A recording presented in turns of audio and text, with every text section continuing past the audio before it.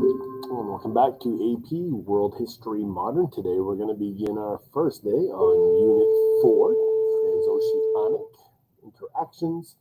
Uh, sorry, that's our first day of Unit 4.1. Right, and we're going to be looking at how cross-cultural interactions resulted in the diffusion of technology and facilitated changes in patterns of trade and travel. All right, so uh, these are our standards. And uh, so over the next couple days, we'll be we'll be looking at technology and technological innovations diffused into Europe, and specifically, and and how that facilitated uh, the creation of new new empires, right? Trade empires, uh, trade post empires, and actual like colonial empires. All right. So for today's daily five um, in class, we we completed uh, or we, we wrote a thesis, right? A claim. And so here's the prompt. In the period from 1450 to 1750, the development and interactions of belief systems often had political, social, and cultural implications. Develop an argument that evaluates the extent to which belief systems affected at least two land based states in Asia or Europe differently in this period. All right, so in class, um, I gave students about five to seven minutes to come up with a single uh, claim, right, a single uh, thesis sentence for this.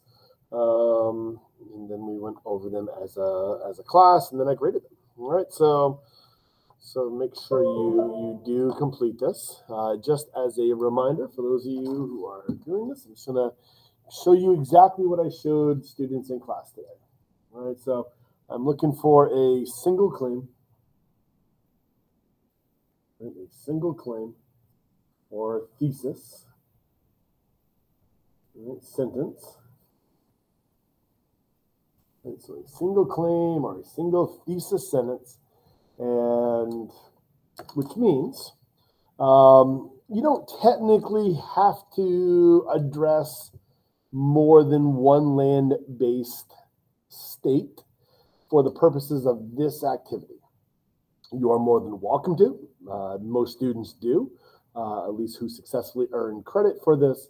Uh, but you don't have to technically because I am, you know, you obviously, uh, you know, your, your thesis might be three to five sentences long. Um, you know, and I'm just looking for a single, single thesis sentence um, you know, and what I'm looking for is looking for you to have, let me zoom in on this just so you can make sure you see it. Right, I'm looking for a category of analysis.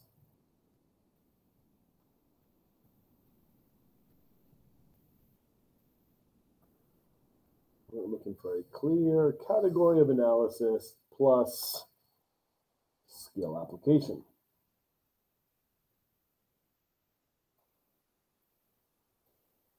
Right? Skill application. And just to remind you what the uh, what the words AP stand for in this class, right? Uh, AP equals answer answer the prompt. So whatever you put, uh, whatever your category of analysis is, make sure you are actually answering the prompt.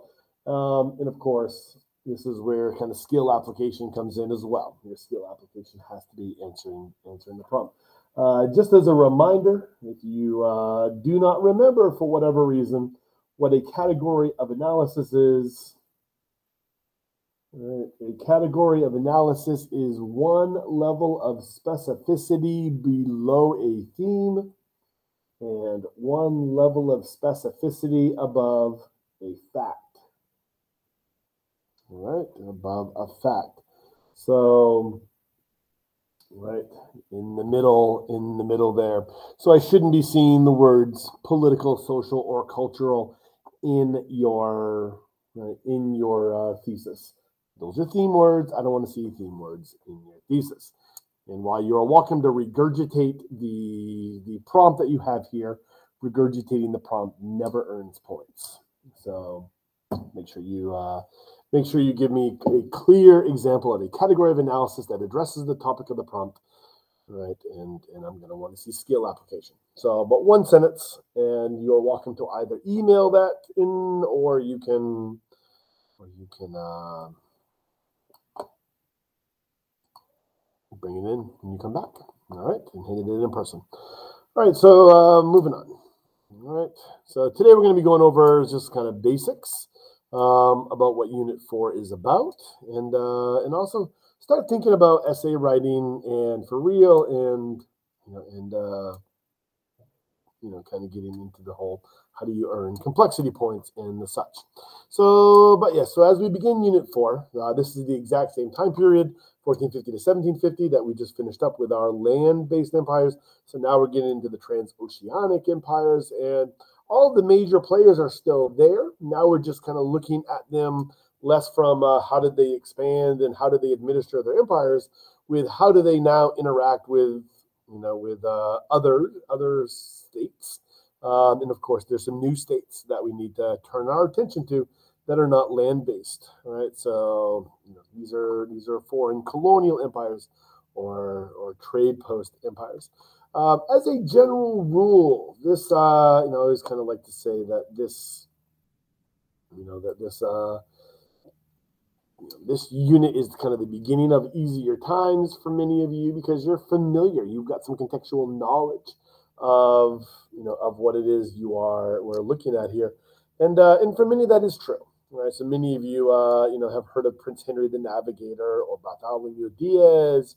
Um, let me kind of zoom in on this a little bit. Um, Columbus or Cabot or Vasco da Gama, Cortez, Magellan, Pizarro you know, many many of you have heard of them before, and you're kind of familiar with that story um, and how all that you know, how all that kind of interacts with each other. And that, and of course, that if that's the case, then you know, then then you definitely have a leg up. Um, you know, when it comes to this unit, right? You're not learning about things like zamindars for the first time. You know, you're learning about Magellan, who you might be familiar with. Now, you may not be familiar with them, and then what I just said does not really apply, but but for most students, they at least have some contextual knowledge about the information we're about to cover with Unit 4, and that generally speaking is true for the rest of the course. So hopefully you find uh, you find the rest of, of what we talk about from this point on a little a little easier. All right, so here's our time grid. So hopefully a lot of this on here should be familiar since we just finished unit three and we covered a very large percentage of, of the information on here. So hopefully this is familiar to you. Please pause and, and have a look. Um, so yes, there's actually not a lot of specifics that we haven't already covered. All right, one other thing that we are going to begin looking at in this unit is is uh, joint stock companies and the rise of, of a new economic system.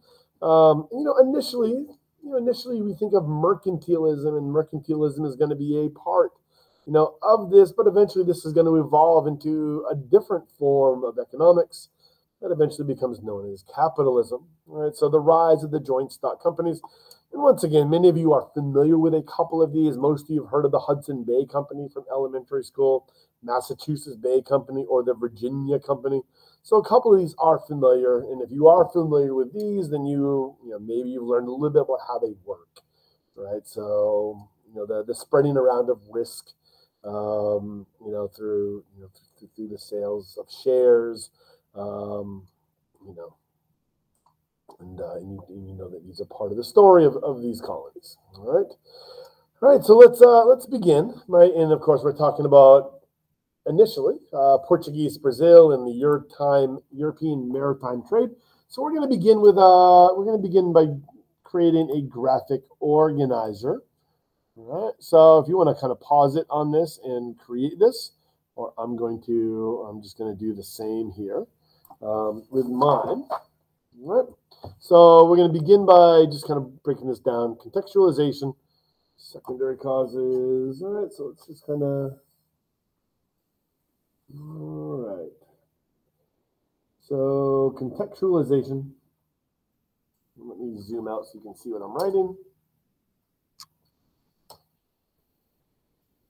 T U A L I Z A T I O N. Right, contextualization. And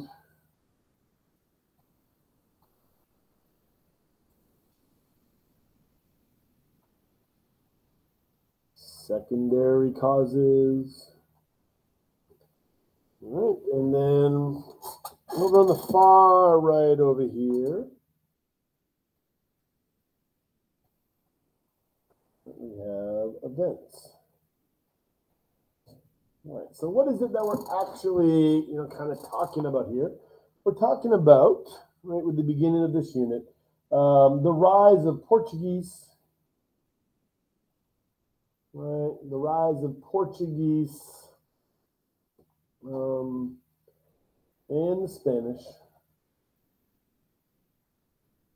right, empires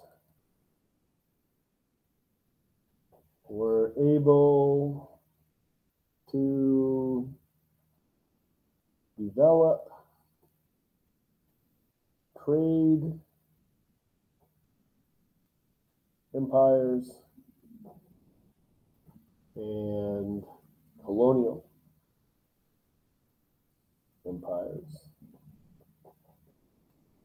All right, little parentheses on that. All right, I'm going to zoom in on this.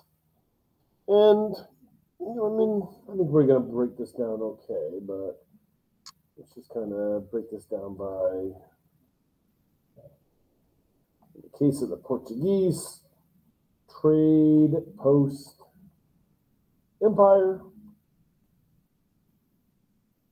Right, trade post empire, and in the case of the Spanish, you're largely talking about uh, colonization. Of Latin America. All right, so these are the events that we're talking about.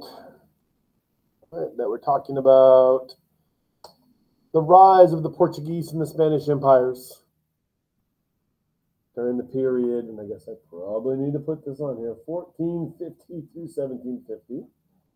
All right, we're talking about the rise of the Portuguese and the Spanish empires can we come up with some of the major causes of this, specifically a primary cause?